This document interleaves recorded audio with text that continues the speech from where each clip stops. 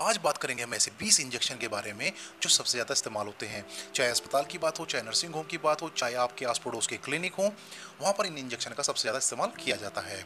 तो जान लेते हैं इंजेक्शन कौन से हैं। नंबर एक फ्लूसेमाइड ये एक साल्ट का नाम है। अगर ब्रांड नेम की बात करें इंजेक्शन की तो ये आता है लासिक्स के नाम से। इसका प्रयोग किया जाता है हाइपरटेंशन, यानी जो उच्च रक्तचाप है, हाई बीपी है, उसको कम करने में। और अगर आपको पेशाब नहीं आ पा रहा है, चाहे दूध की समस्या की वजह से, चाहे पथरी की समस्या की वजह से, या किसी अन्य समस्या की वजह से पेशाब खुलकर नहीं आ रहा है, कोई दिक्कत है, पेशाब का बद लग गया है तो इस इंजेक्शन का आप इस्तेमाल कर सकते हैं। आपकी ये समस्या दूर हो जाएगी। इसे आप इंट्रामस्कुलर यानी मांस में, या इंट्रावेनिस, यानी नसों में लगा सकते हैं। नंबर दो हाइड्रोकोटिसोन ये एक साल्ट है।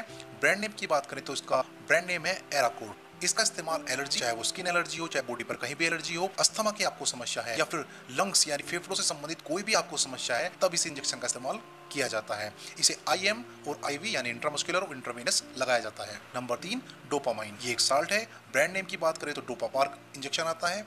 अगर आपका बीपी बहुत ज़्यादा कम हो चुका है, बीपी बहुत ज़्यादा लो हो गया है हार्ट रेट बहुत कम है आपकी या फिर कार्डियक अरेस्ट यानी दिल का दौरा पड़ा है आपको, तब आप इस इंजेक्शन को ले सकते हैं। इसे लगाने का तरीका है आईवी केवल इसे इंट्रावेनस लगाया जा सकता है। नंबर चार नाइट्रोग्लिसरीन ये एक साल्ट है ब्रांड नेम है मायोनिट इसे आप हाइपरटेंशन यानी बढ़े हुए बीपी में हार्ट फेलियर में हार्ट अगर सही काम नहीं कर रहा है, तब इसका इस्तेमाल किया जा सकता है। इसे आप आईएम और आईवी दोनों लगा सकते हैं। नंबर पाँच एथम साइलेट एक साल्ट है और अगर ब्रांड नेम की बात करें, ये आता है इथासिल इंजेक्शन के नाम से। अगर आपको ब्लीडिंग बहुत ज़्यादा हो रही है और खून नहीं रुक पा रहा है, चोट की वजह से या किसी अन्य कारण की वजह से खून बह रहा है, तब आप इस इंजेक्शन का इस्तेमाल कर सकते हैं। इसे आई और आई दोनों लगा सकते हैं। नंबर छह हिपेरिन हिपेरिन एक साल्ट है और ये हिपेरिन नाम से ही ब्रांड नेम से ही मिल जाता है। अगर आपको ब्लड क्लोट की समस्या है, खून गाढ़ा हो गया है, खून जल्दी जम जाता है, या फिर कहें तो खून को जमने से रोकने के लिए इसका इस्तेमाल किया जाता है। इसे इंट्रावेनस और सबकुटेनियस यानी त्वचा में, यानी खाल में दिया जाता है। नंबर सात नेलोक्सोन ये एक साल्ट है और इसका ब्रांड नेम है नेलोक्स अगर किसी दवाई की ओवरडोज ज़्यादा हो गई है, किसी ने दवाई हैवी ले ली है या बताए गए अनुसार से अधिक दवाई उसने खा ली है बताई एक गोली थी और खाली दो गोली, उससे कोई दुष्प्रभाव हो गया है तो उसको कम करने के लिए इस इंजेक्शन को लगाया जाता है। इसे आई एम आई वी और एस सी यानी सबकुटेनियस दे सकते हैं। नंबर आठ ईटोफाइलिन एंड थियोफाइलिन ये एक साल्ट है और जो उसका ब्रांड नेम है, वो है डेरीफाइलिन इसका इस्तेमाल अस्थमा या फिर सांस लेने में तकलीफ़ अगर आपको हो रही है, तब कर सकते हैं। इसे आप आई और आई दोनों दे सकते हैं। नंबर नौ डाइक्लोफिनेक यह एक साल्ट है और इसका अगर ब्रांड नेम की बात करें तो डायनापार इंजेक्शन के नाम से आता है। इसका इस्तेमाल दर्द में किया जाता है। अगर आपको दर्द होता है, कहीं भी पूरी बॉडी में, कहीं भी या किसी भी इंटरनल ऑर्गन में, तब इसका इस्तेमाल किया जा सकता है। इसे आप इंटरमस्कुलर ही देते हैं। आईवी नहीं लगाया जाता है। नंबर दस डाइजेपाम ये एक साल्ट है। अगर ब्रांड नेम की बात करें तो काम्पोज के नाम से ये इंजेक्शन आता है। अगर आपको दिमागी असंतुलन की समस्या है, बेचैनी होती है इधर उधर की बातें कर रहे हैं, सोच रहे हैं, चिंता कर रहे हैं, तब इस इंजेक्शन को आप लगा सकते हैं। इसे आई एम और आई दोनों लगाए जा सकते हैं। नंबर ग्यारह पाम या फिर पेन ये एक साल्ट है और जो इसका ब्रांड नेम है वो है एल्डोपाम या एल्डोपैम जो भी इसका प्रोनाउंसिएशन है, एक इंजेक्शन आता है। अगर कीटनाशकों या रसायनों से होने वाले जहर की वजह से आपको कोई दिक्कत हो रही है, तब आप इसका इंजेक्शन का इस्तेमाल कर सकते हैं। इसे आई एम और आईवी दोनों में लगाया जा सकता है। नंबर बारह, लीडोकेन। एक साल्ट है, ब्रांड नेम की बात करें तो जाइलोकिन के नाम से आता है। ये एक लोकल एनेस्थेटिक है, यानी अगर आपको कहीं पर सुन करना है, जैसे आप टाँके लगाते हैं, वहाँ पर सुन कर देते हैं, या फिर दांत निकालते टाइम सुन करना होता है, तब इस इंजेक्शन को लगाया जाता है। ये उस हिस्से को सुन कर देता है जहाँ पर ये इंजेक्शन लगाया जाता है। तो यह एरिया इंटरवेनियस या इंटरमस्कुलर नहीं होता है, जहाँ पर भी सुन करना होता है, वहाँ पर इसे लगा देते हैं। नंबर तेरह, अमिकासिन। ये एक साल्ट है, अगर बात करें ब्रांड नेम की तो मिकासिन के नाम से आता है।